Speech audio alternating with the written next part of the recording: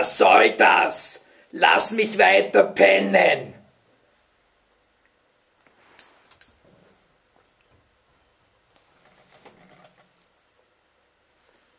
Aufstehen, Trax. Zeit für deine vierte Show. Wirklich? Schon wieder?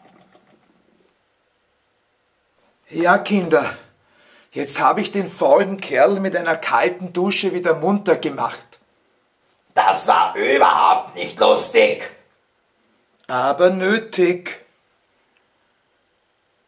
Heute wieder ein kleiner Tipp für euch fürs Lernen. Macht ihr einen Plan, ähnlich wie dem, den wir euch gegeben haben vor diesen verlängerten Ferien, was du wann erledigen willst. Und das für jeden Tag. Da kann auch ruhig was dabei sein, was überhaupt nichts mit Lernen zu tun hat. Denn vergiss nicht, Pausen dazwischen sind wichtig. Und auch viel Flüssigkeit, am besten Wasser.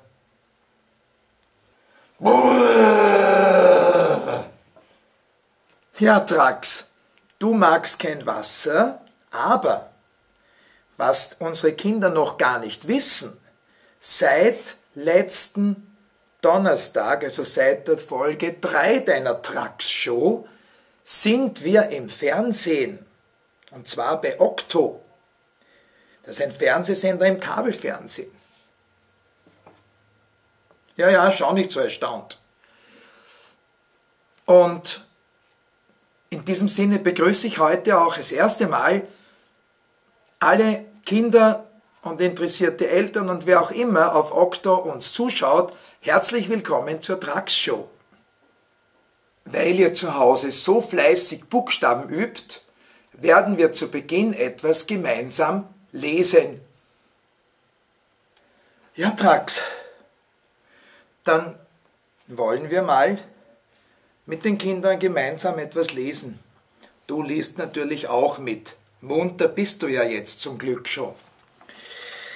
Heute lesen wir auf Seite 82 im Leselehrgang und das ist diese Seite mit dem lustigen Bild, wo Pino im Badezimmer planscht. Hast du es schon vor dir liegen?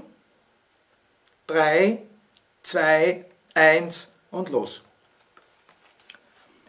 was gut für uns ist. Wir müssen genügend Wasser trinken. Obst und Gemüse müssen wir essen. Wir müssen uns oft bewegen. Turnübungen halten uns gesund. Wir müssen früh ins Bett gehen, damit wir nicht müde sind. Wir müssen uns baden. Wir müssen uns warm halten, wenn es kühl ist. Das ist alles sehr gut für uns. Und unten beim Bild sagt die Mama zum Pino, Pino, du überflutest das Bad. Und in Mathematik werden wir uns heute weiter damit beschäftigen, wie wir beim Plusrechnen über den Zehner rechnen. Ja, da sind wir jetzt bei unserem 20er Feld. Hoppala. Das sieht doch anders aus als letztes Mal. Fällt dir auch was auf? Was? Hier fehlt was? Ja, kann sein, dass hier was fehlt, aber... Aha. Ah, du hast das richtig erkannt. Das von hier ist jetzt hier. Einfach angehängt. Wie viele Felder sind das? Hebe mal so viele Finger, wie viele Felder das sind. Ich schaue mal zu euch ins Wohnzimmer. Perfekt, alle haben fünf Finger gehoben. Wie viele Finger hebst du für dieses Feld? Nur für dieses, nicht für beide. Ja, super, wieder alle fünf gehoben. Und jetzt hebst du so viele Finger, wie das sind. Was, du brauchst schon beide Hände dafür? Natürlich, es sind ja auch zehn. Und nach zehn geht's weiter. Wie viele Finger hebst du hier? Super, wieder fünf. Zehn plus fünf sind Ganz richtig, 15. Von hier bis hier wären es 15 Felder. Und von hier bis hier sind es dann, jawohl, aus der Ecke kam es, 20 Felder. Beim Rechnen können wir das natürlich auch wieder ausnützen. Wir legen hier gleich mal unsere erste Rechnung auf.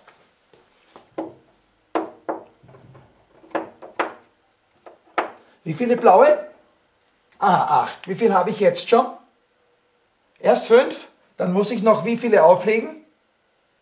Finger heben. Passt. 3. Gut. Wie viele blaue liegen jetzt hier? 8. Ganz genau. Wie viele rote lege ich dazu? Wo lege ich sie hin? Hierher? Dann bleibt ja hier ein Loch. Ah, ich fange wirklich so wie du gemeint hast, gleich hier an. Eins, zwei, drei, vier rote. Wie viele sind es hier? Zwei Hände voll.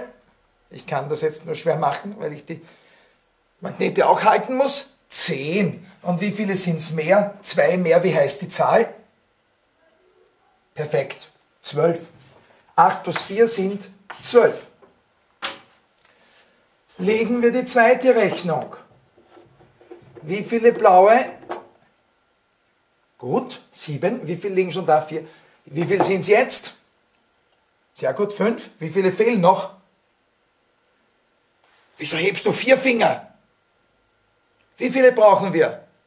Zwei, ganz richtig. Weil jetzt sind es fünf plus zwei sind sieben. Wie viele rote lege ich dazu? Sechs natürlich. Darf ich hier beginnen? Nein, richtig, ich beginne hier. 3 bis zum Zehner. Und wie viele fehlen noch auf 6?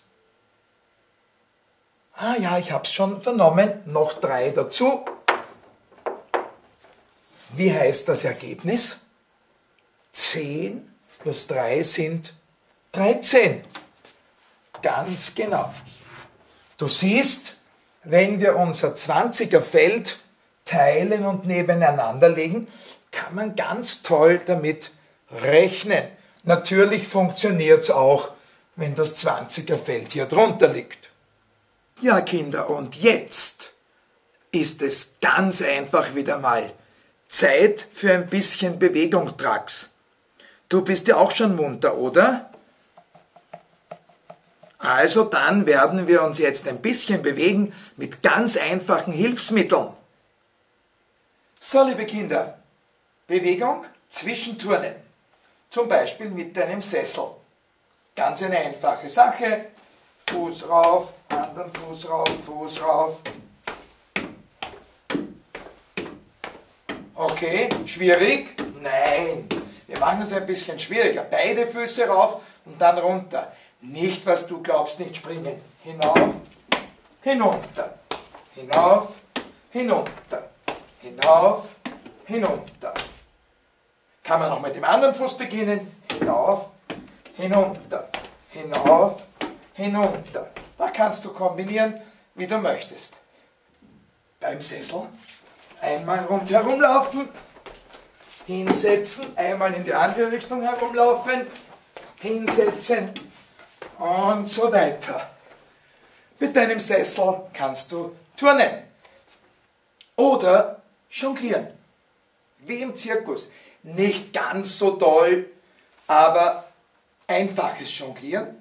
Und zwar mit zwei Dingen. Mit drei kann ich es selber noch nicht, da muss ich noch üben, aber ich habe ja jetzt viel Zeit. Vielleicht schaffe ich es bald. Nimm dir zwei Dinge, ganz egal was, zum Beispiel einen Trinkbecher, bitte aus Plastik, weil wenn er runterfällt, kann nichts passieren. Und vielleicht einen Bleistiftspitzer und jetzt gibt es hier ganz einfache Übungen. Hochwerfen, fangen, hochwerfen, fangen, hochwerfen, fangen.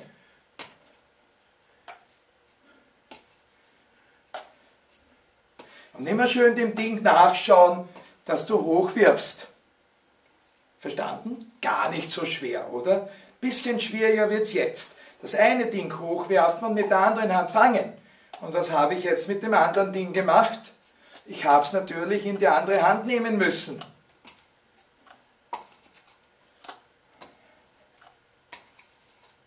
Ganz einfach, zwei Dinge, bitte nichts Zerbrechliches. Keine Teller mit einer Flasche und mit einem Becher. Und dann könnte man auch mal schon sowas probieren. Immer mit der einen Hand werfen, mit der anderen Hand fangen. Geht in die andere Richtung natürlich auch.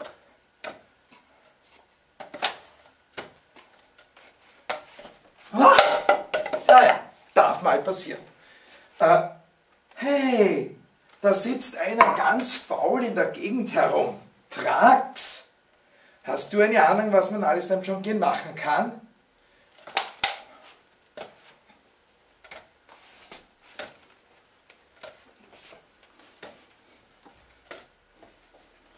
Das war überhaupt nicht lustig. Ich bin schwindlig. Jetzt habe ich den Trax K.O. gemacht.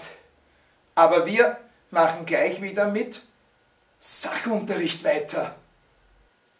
Armer Trax.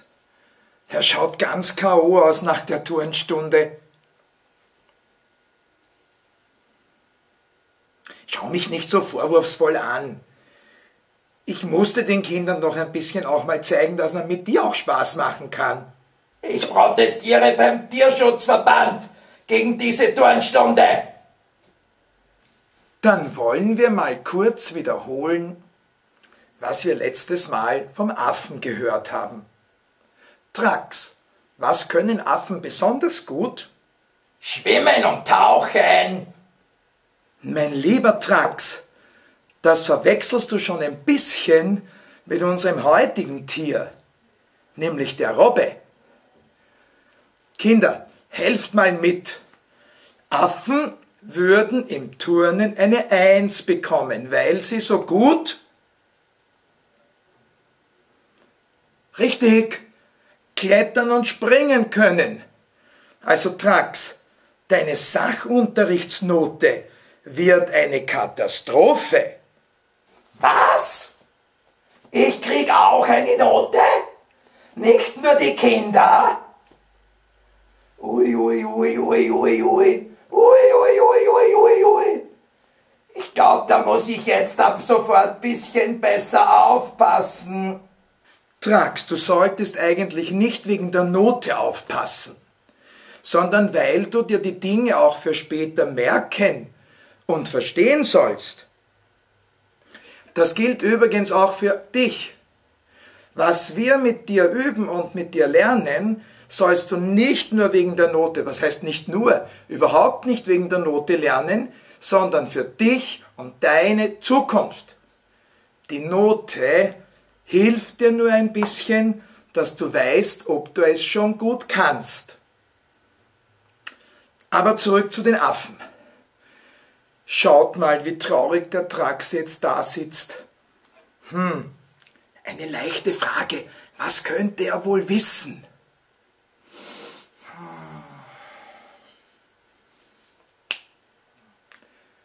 Trax, was fressen Affen am liebsten? Affenkipferln. Was? Natürlich, Affenkipferln. Das sagst du doch selber dauernd. Ja, richtig, Trax. Das sage ich wirklich gerne. Und gemeint sind damit Bananen. Aber das ist jetzt noch nicht alles, was Affen fressen. Pflanzen sind es aber fast immer. Und Affen leben im Urwald. Hey, Trax, scheint, als hättest du doch dazwischen zugehört wobei das richtige Wort für Urwald eigentlich Regenwald ist, weil es dort ziemlich viel Regen gibt, den die Pflanzen brauchen.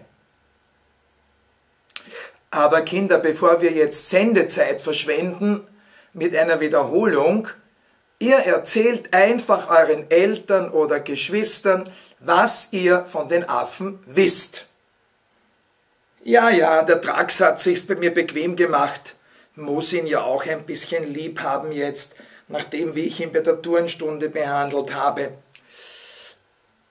Und das, was wir jetzt lernen wollen, wenn wir nämlich die Robbe näher betrachten, ist auch ein bisschen eine Wiederholung, denn wir haben das schon einmal ein bisschen besprochen. Also pass jetzt trotzdem gut auf. Die Robbe. Raubtier. Robben sind mit den Bären entfernt verwandt. Flossen, aber kein Fisch. Die Beine der Robben sind zum besseren Schwimmen zu Flossen geworden, da sie hauptsächlich im Wasser leben. Beute der Robben sind vor allem Fische, aber auch Pinguine. Feinde sind vor allem Haie, Orcas und Eisbären. Umblättern oder auf die nächste Seite. Verschiedene Größen vom mächtigen Seeelefanten bis 6 Meter lang und 4000 Kilogramm schwer, bis zur deutlich kleineren Ringelrobbe nur circa 140 cm lang und 100 Kilogramm schwer. Im Zoo Schönbrunn gibt es Mähnenrobben, alle Bilder, die mit den starken Vorderflossen an Land gar nicht so schlecht unterwegs sind. Verspielte Akrobaten Robben sind sehr wendig, verspielt und sehr gelehrig. Deshalb waren sie früher oft in Zirkussen zu sehen. Heute gibt es Robbenkunststücke in Schönbrunn bei der täglichen Fütterung zu bestaunen. So, Trax, dann werden wir mal schauen, ob wir Wörter finden, die die Kinder in diesem Text vielleicht nicht verstanden haben. Ich denke, die Wörter Flossen, Haupt, hauptsächlich, habt ihr das verstanden? Hauptsächlich bedeutet fast immer, also oder sehr oft. Das Wörtchen Beute, denke ich, haben wir schon öfter gehabt. Beute sind die Tiere, die von anderen gejagt werden und gefangen werden. Der arme Drax. Wendig das kommt vor beim Absatz verspielte Akrobaten. Wendig bedeutet, dass sie sich sehr, sehr gewandt bewegen können, ausweichen können, flink sind. Das bedeutet wendig. Ja, und das war's auch schon wieder mit der Erklärung der schwierigen Wörter. Sag mal, Trax, was hast denn du da alles im Schnabel? Sag schon was. ja, hat er den Schnabel voll. Ah, ich glaube, ich weiß, was er meint. Natürlich! Zeichnen! Hey, gute Idee, Trax. Zum Abschluss ist heute Zeichnen angesagt. Bitte zeichne zu Hause ein Bild über unsere Trax-Show. Deine Eltern machen dann ein Foto mit dem Handy und senden es mir über WhatsApp. WhatsApp senden ist übrigens ein gutes Stichwort, denn ein paar Bilder von unseren Kindern, wie sie fleißig arbeiten, haben mich schon wieder erreicht und natürlich auch wieder ein kleines Video. Hier steht nichts, oben steht die 8. Welcher Rechnung entspricht denn das? Drei. Und damit ist die Trax-Show Nummer 4 auch schon wieder Klopapier. Bleib anständig, du frecher Vogel. Tschüss, bis Mittwoch. Da habe ich eine Überraschung für euch.